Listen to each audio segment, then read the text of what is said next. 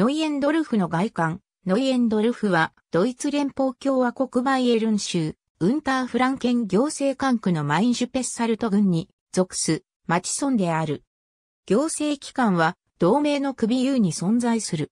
ノイエンドルフは、ホアシュペッサルト山地のビュルツブルグ地域に位置しており、町の南側は、マイン川が町境をなしている。この町は、ゲミュンデンアムマインとロールアムマインとの間にある。町内の最高地点は、プンプシュパイヒャー発電所の上部貯水池がある、ゾール平営山頂の海抜530メートル、最低地点は、マインガー下半の海抜152.4メートルである。自治体としてのノイエンドルフは、二つのオルツタイルからなる。両地区は、ゲマルクングノイエンドルフに位置している。ノイエンドルフという地名は、中高ドイツ語で、新しいを意味する単語、ニーウェイと豆腐からなる。ノイエンドルフという地名は、新しい村に由来する。この町は、様々な古地図や資料に、以下のような表記で記されている。この集落に関する現存する最も古い文献記録は、1325年5月27日のものである。ナンテンバッハはこの町の古い方の部分である。ノイエンドルフはアムト・バルテンシュタインに属した。その領主は時代とともに入れ替わった。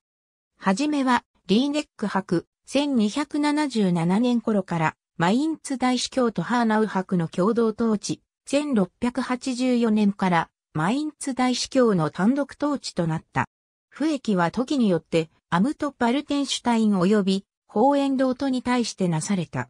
住民の制業としては、ブンター島の痩せた土地での農業が主であった。1803年の帝国代表者会議主要決議で、ノイエンドルフは、マインツ大司教領の一部として新設されたアシャフフェンブルク公国に編入された。この公国は1814年にバイエルン王国に併合された。バイエルンの行政改革に伴う1818年の自治体令により現在の自治体が形成された。1862年にベツィルクスアムトロールアムマインが設置され、ノイエンドルフはその管轄下に置かれた。1939年にドイツ国全土でラントクライスの名称が用いられることとなった。ノイエンドルフはロールアムマイン郡の26市町村の一つとなった。ロールアムマイン郡の廃止によってノイエンドルフは1972年7月1日に新設されたミッテルマイン郡に編入された。この郡はその10ヶ月後にマインシュッペッサルト軍と改名された。教会組織上、ノイエンドルフとナンテンバッハはかつてローマイコールカトリックのロールアムマイン教区に属し、その後、ランゲンプロツェルテン教区に属した。1717年にノイエンドルフに小さな市教会が建設され、1928、29年に現在の規模に拡張された。守護聖人は聖ゼバスティアンである。この教区には70年前から独自の司祭がいる。2011年5月9日、現在人口に対してカトリック信者の占める割合は約80%である。1988年から2018年までの間にこの町の人口は871人から830人に41人、約4.7%減少した。この町はロールアムマイン行政共同体に加盟している。ノイエンドルフの町議会は8議席からなる。町長は2008年5月1日からカール・ハインツ・アルベルトが務めている。彼は2020年3月15日の町長選挙で91.01%の支持票を獲得して、さらに6年の任期を得た。彼の前任者はコンラートラウフであった。この町は1981年から独自の紋章を使用している。シェーンライン修道院跡。図柄、橋壁状の分割線で赤字と金字に上下に分割。上部は斜め十字に組み合わされた2本の金の矢。下部は青い樹木のカワハギナイフ。解説、ノイエンドルフの歴史は事実上、リーネック博によって形成された。町の紋章の赤と金色の配色はこれを示している。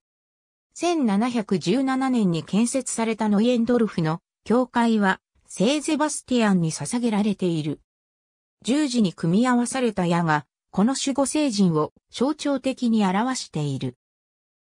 樹木のカワハギナイフは、ノイエンドルフ及び南天バッハにおけるタガ作りや木材加工の3世紀に及ぶ伝統を意味している。ノイエンドルフのマイン川対岸にはかつてにシェーンライン、修道院の遺構がある。この建物は16世紀に放棄された後、リーネック博によって上官及び行政庁舎として利用された。紋章の橋壁上の分割線はこの修道院及び上官建築を表現している。シェーンライン修道院の遺構はノイエンドルフの町域内ではないが、それでもこの町の象徴的建造物とされている。町内にはシェーンライン通りがあり、祝祭ホールはシェーンラインハレと名付けられている。70年前までノイエンドルフは純粋な農村であった。小規模な農家は林業、タガ作り、樹皮の剥離、マイン川沿いの船着き場までの木材輸送などを生活の足しにしていた。1920年代に家庭での洋服の仕立てはノイエンドルフに根を下ろし、経済的発展をもたらした。1950年から1960年にかけて農業は衰退した。近隣に位置するロールアムマインにより良い収入の機会があったからであった。現在この町に専業農家は1軒だけである。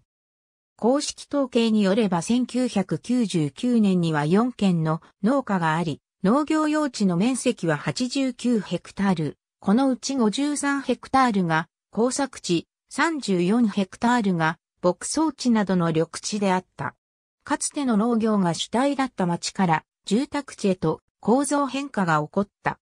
工業地区では金属加工業者、機械組み立ての専門会社、セメント工場、車体工場が挙げられる。公式統計によれば、2018年のこの町で、働く、社会保険支払い義務のある就労者は157人であった。一方、この町に住む、社会保険支払い義務のある就労者は349人であった。ノイエンドルフは森の豊かな町である。町の総面積965ヘクタールのうち約700ヘクタールが森林で、その中の171ヘクタールが超有林である。このため、全長 8.5km のトラック林道が整備されている。1901年から作られていた上水道は、1972年から1978年に根本的な改修がなされた。町営の排水施設は、1960年から部分ごとに改修がなされた。下水処理施設は1994年に集水道と浄化施設が完成し、稼働を開始した。墓地は1953年と1970年に拡張され、古い箇所の改修が近年行われた。1995年に42区画の新しい住宅地、アムテュルラインが開発された。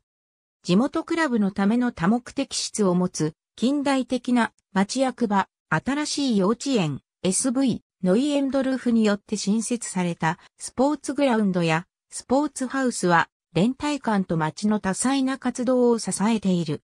南天バッハのマインタール橋鉄道ビュルツブルグ、アシャフェン線の南天バッハのマインタール橋を含む南天バッハー、カーブの新設や連邦道 B26 号線のバイパス建設により街の外観は大きく変化した。